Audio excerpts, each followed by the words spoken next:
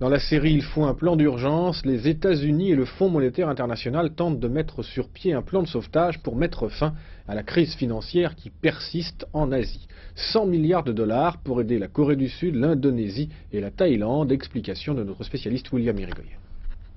Remplir les chariots, coûte que coûte.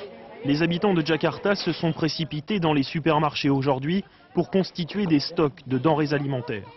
Origine de cette ruée dans les magasins, la dégringolade de la roupie, la monnaie nationale, moins 22,8% par rapport au dollar pour la seule journée de jeudi. Cet après-midi, le Fonds monétaire international a approuvé l'octroi d'un prêt de 50 milliards de francs pour l'Indonésie.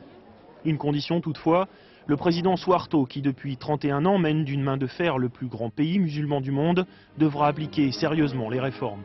Ce samedi, le secrétaire américain adjoint au Trésor est d'ailleurs attendu à Jakarta pour s'assurer que le chef de l'État indonésien a bien compris le message.